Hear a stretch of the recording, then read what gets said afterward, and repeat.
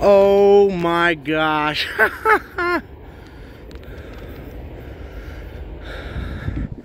that CN unit trailing while it's in the middle was cool. But I got a history with that third dash nine NS 9641. That's special.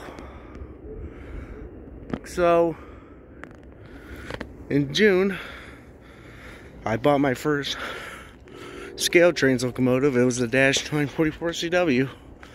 And guess what road number it was? 9641.